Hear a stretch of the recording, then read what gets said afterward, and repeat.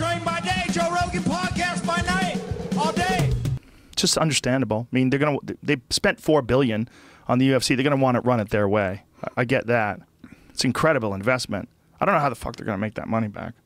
You're a, s- you're a smart financial guy. How the hell do they make that money back?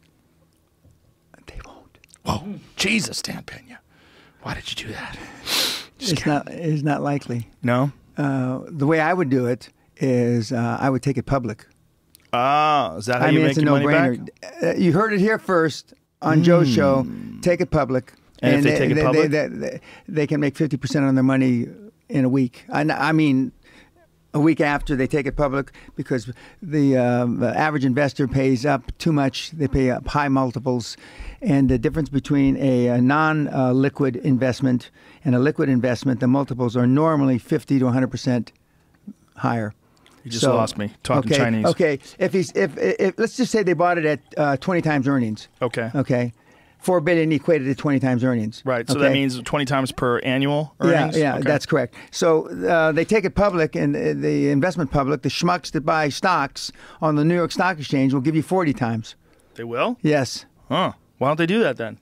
Well, What's the problem with taking things public? well, they lose control. Ah. and they, it depends on how much of the how much of the stock are they going to sell. Right. They're going to sell ten percent. They're certainly not going to sell fifty point one percent because then they lose total control. right. But right. then they're also uh, have to adhere to the SEC, Security Exchange Commission. There's Mm. rules, uh, and they have to have uh, audited statements every uh, every 90 days.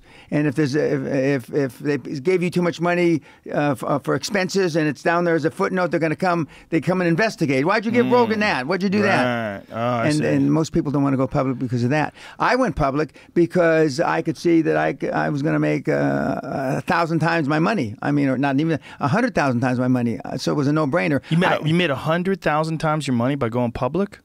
Well, well, it's actually better than that. Jesus.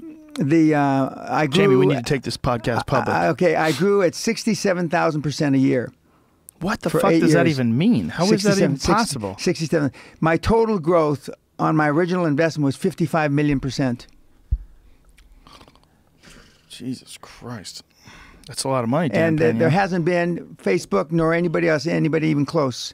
For, but unfortunately for me, because it was 25 years ago, I was at a low base. My base was only half a million, or five. Yeah, uh, f- excuse me, 500 million. And uh, but now, I mean, uh, what does that mean by your base? In other words, what I grew the company from 800 bucks Right. to f- 500 million. Right. Okay, so but my base, my initial base was eight. I call it a thousand bucks. Okay. Okay, And my exit base was 500 million. Okay. 500 million dollars, and uh, of course I had a lot of shareholders. It wasn't just me, uh, but now uh, the um, the company grew. If you take 800 bucks. And you figure out the uh, you do a spreadsheet on uh, the growth per year it's sixty seven thousand percent, and if you do the total growth, it's fifty five million percent. Fifty five million percent. Now, if you were you're an MMA fan, and if Yes, you were going to give advice to the people that own the Yes, UFC, what would you tell them? Oh yeah, Alpha Brain. Alpha. what would you What would you give them? What I'd advice say, would you I, say? I, I'd hire somebody like Goldman Sachs. Uh, I'd, I'd hire more than one. I'd say Goldman Sachs and J.P. Morgan or somebody like that, or Credit Suisse, to to look at uh, how to make their investment liquid. Liquid, because now it's frozen like uh, a stiff dick. I mean, it's not going anyplace. so No. what does that mean? Like, how do you make it liquid? Liquid, okay. If let's just say we're going to take this podcast public. Okay, let's do it. Let's Uh, get okay, crazy. Okay, let's get crazy. Now let's just say that the um, right now uh, uh, you make uh, let's throw out numbers a million dollars a year off your podcast, uh, and um, you have no other shareholders. Okay, just Okay. you. Okay. Now you want to take it public, and you want to take it public on one of the secondary or tertiary exchanges because uh, this isn't wouldn't be big enough to take on the New York Stock Exchange, and um, you want to sell shares in your baby uh, for thousand dollars a share. Okay. How many shares does one have? Well, you as many as you want if you want. really? Yeah. So you can make hundred million shares at thousand dollars a share. Yeah, but you you couldn't you couldn't equate that much value, but you could do a thousand shares at a thousand uh, at a thousand dollars a share. Okay. Okay, and so you sell twenty percent off to the public. So twenty percent of those shares are, and I mean you got millions of people to follow you. I mean that would be a, a, a slam dunk. I mean it would be a no brainer.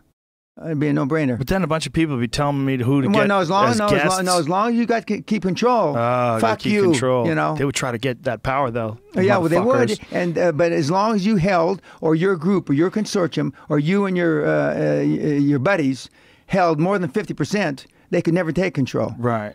But it seems like that's that's where hostile takeovers come Correct. from, right? Correct. Yeah, people gather Oh. up.